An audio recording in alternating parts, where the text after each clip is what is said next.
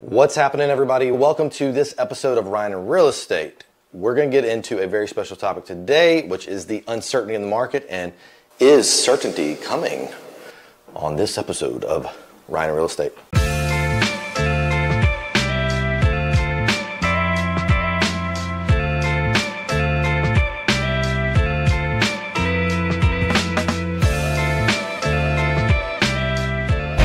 All right, welcome back. If you've not done so, take a minute, subscribe to our channel, and then once you subscribed, as you watch this video, if you have any questions, drop them in the comments. I would love to hear from you as always.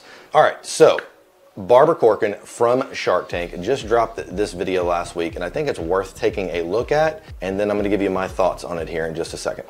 Hey, I'm here to tell you you have one month to buy a house. One month. And here's why interest rates have just gone up. That sounds contrary, but with interest rates going up, everybody's moved to the sideline and they've taken a wait and see attitude. That's her take. One month, guys, one month you have. Why is she saying that again? Is because, as we've been talking even in previous videos, there's a lot of uncertainty in the market. And right now, what is the uncertainty that is in the market? It's really two things right now. And I'll get to those in just a second. But before I even get into that, here's what's happening because of the uncertainty. And this is in Houston. Every market's different, but less buyers are looking at home, less buyers are going under contract, less sales are being done, and sellers are going, why are my days on market continuing to rise? Again, it's because there is uncertainty. And the things that are causing uncertainty are two things. One, it's the election that's literally happening tomorrow.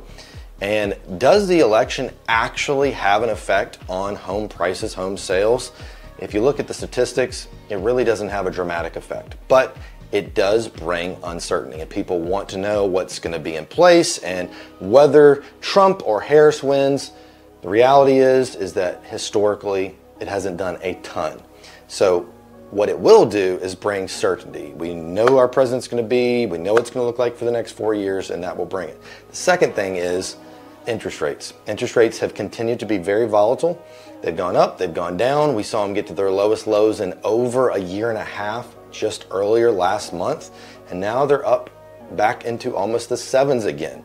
That brings tons of uncertainty, and when you have uncertainty, people just kind of freeze and they don't want to do anything. And that's what's happening now. So, why is there one month left? Is because it will take, after all the certainty comes back into the market, it will literally take about a month before buyers who are all on the sidelines, literally just waiting to pounce into this market, where they're gonna go, all right, I know what it's gonna be like for the next few years. I want to buy a home, I'm going in the market and I'm going to do it. But right now, you have a unique opportunity where those buyers are still not moving because of the uncertainty, and you have a chance to get a great price on a home because we have doubled the inventory in just over a year. There's plenty of options to choose from. And right now you have that choice. If you get into a home and the rates drop, of course you can refinance later. But right now the inventory is, there is a smorgasbord available for you. So that's why Barbara would say, and I would agree, there really is one month before this market potentially goes crazy again. So if you're a buyer, I would suggest getting in now. If you're thinking about buying in the next year, this is probably the best month. I would say, and I would agree. As always, thanks for taking a minute to listen to me ramble and give you my two cents on the market. Hope you're having a great week, great fall. Hopefully some cool weather's gonna come in. Otherwise, we'll see you next time on Ryan Real Estate.